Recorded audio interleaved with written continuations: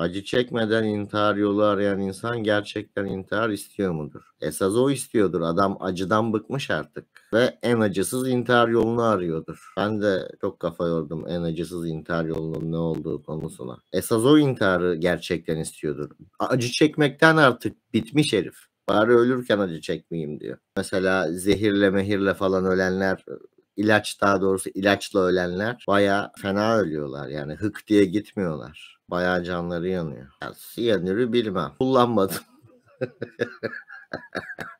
Yani intiharda şöyle bir şey var. İntihar etmek bu arada kolay bir şey değil şu açıdan. Başarılı intihar zor bir şey. İntihar teşebbüslerinin çoğu başarılı olmuyor. Ama erkekler kadınlardan kat ve kat daha fazla başarılı şekilde intihar ediyor. Neden? Çünkü erkeklerde silaha ulaşıp daha fazla. E, silah da en garantili yol. Kadınlar erkeklere göre çok daha fazla intihara teşebbüs ediyor ama erkekler az ama öz intihar ettikleri için intihardan ölen erkek sayısı kadın sayısının dört katıdır. Kadınların daha fazla teşebbüs etmesine rağmen.